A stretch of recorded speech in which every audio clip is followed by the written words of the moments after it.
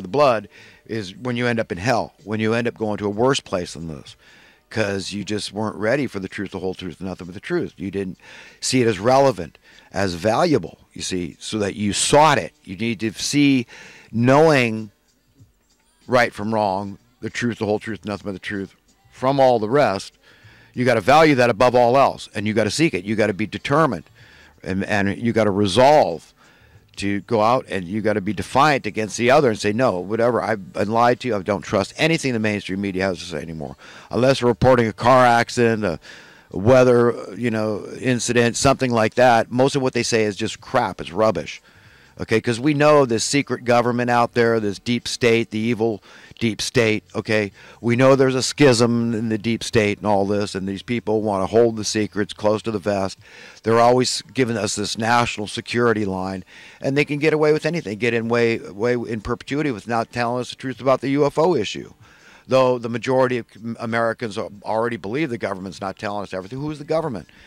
Okay the secret deep state government that don't want us to know that don't want us to know well cui bono uh, gee, uh, JFK was abolishing the Federal Reserve. Whatever happened to that? Just because they killed the president? Wasn't that convenient, huh? Gee, it, uh, the Federal Reserve has amassed this fantastic power over the last uh, 50, what, 60 years? What are we looking at now? 1963? I mean, 55 years, something like that? Yeah, not bad, huh? Not bad. That's funny since he was already supplanting the currency with these Federal Reserve notes. So that was sure convenient. That was sure lucky. How'd they get away with that? But the mainstream media doesn't ask. So these are the people. This is how we're being led around by the nose. How they're stealing the wealth of our nation right out from under our nose. They're getting away with genocide right from under our nose. They're spending $50 billion a year of your tax money on Section 8 housing, which is supposed to prevent homelessness. It's to pay the rent for people that can't afford their own rent. Okay, and the problems just get worse and worse and worse. The, the national debt is, just keeps increasing. The dubious war and the prospect for it, it, it's always clear and present because the people are so they're so downtrodden. Really, okay. People say there's all this opportunity in society and think, well, wait a minute. Do you understand that civilization is like links in a chain? And not all the links are just as strong. And that doesn't mean they're not all just as good. It doesn't mean that you should exalt yourself if you're a strong link in the chain and look down on those that are weaker links, okay? Because like Jesus said, you must hate your life in this world. So you're kind of a if you feel like a misfit, like you're you find the system abhorrent. You see it as a rigged game, a game you don't want to play, and you say, "No, I'm out. I see how this thing works. I'm not even going to play. I'm not even going to be a link in your chain anymore. I'm already you guys play your little game with each other. Your, you know, survival of the strongest is really what it comes down to. So that's who's going to be the chain at the end of the day. Is that the way you want it? Well, just remember, if that's not the way God wants it, okay, then that's not the way it ought to be. And we all need to just be honest and just admit it and say, look, we are a family. We are one species. We are one race. We are the chain of humanity. And you can't see this thing as, look, it's okay that this guy bit the dust. This was the next weakest link in the chain. Okay, he was the lower lower working class, and he just was. He lost his spirit, was poor toward the world. But if you read the Beatitudes that Jesus taught in the book of Matthew, you realize, look, it is the poor out there who, who you know, their their riches is in the kingdom of heaven. They see this world for what it is, the crap hole that it is. We've got to get it, that it's temporary at best. We're all going to wind up either uh, being cremated or in a coffin, right? I mean, our destiny does not look good. That's not being negative. That's just facing reality. That we're no matter what, we're all we all know we have to move on. We have to give it up, whatever it is. And that's why I try to convince people that they need God. We all need God. I mean, without God's help, I don't know how I'm coping. I don't know I'm talking about these things the idea of me losing my life and dying, I don't like that at all, man. I want to be one of those ones that makes the transition in the rapture, you know, that's uh, that's here alive at the end of the age, and that uh, in the twinkling of an eye, the perishable body, this body of death, this carnal body, meets the imperishable, just like that. That's what's supposed to happen. That's what's predicted.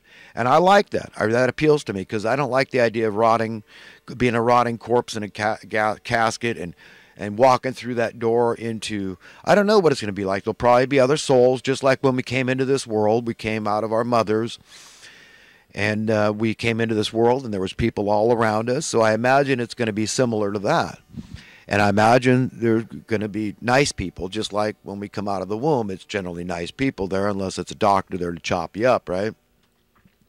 As a um, late-term abortion or something. But yeah, I um, you know, I want to be as ready. I want to ready my heart as much as possible for what is to come, and I want to help other people, convince other people. They want to ready their own heart, their soul, their spirit, their mind for how it's going to be when Jesus Christ is ruling over the affairs of men on earth. Not if. No, no, it's coming. Because with the faith of a mustard seed, I can promise you that. Just a little bit of faith I have. I trust in God. I believe.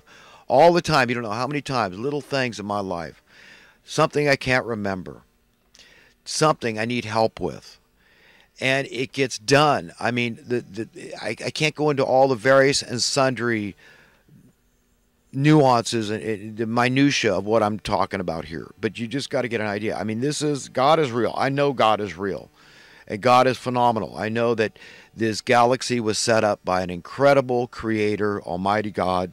I know that much and I believe that we are incredible creatures. What look at us, heads above intelligently all the other creatures on earth. We're incredible. We are like gods. That's it. In the image and likeness of God makes us like little gods with a small g. That's not arrogance to God. What do you think? God's threatened by that statement? No, He wants us to be that.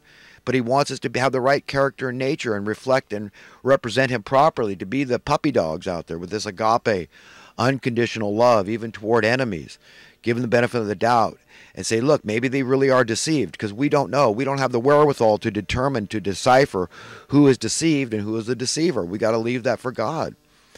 So we can't condemn people. We can't judge them in that sense. And with the measure we judge people, that same measure we too shall be judged. So about capital punishment, again, I mean, there's so many reasons why we don't need to do that. It's torturous. And put something on someone on death row, that's psychological torture.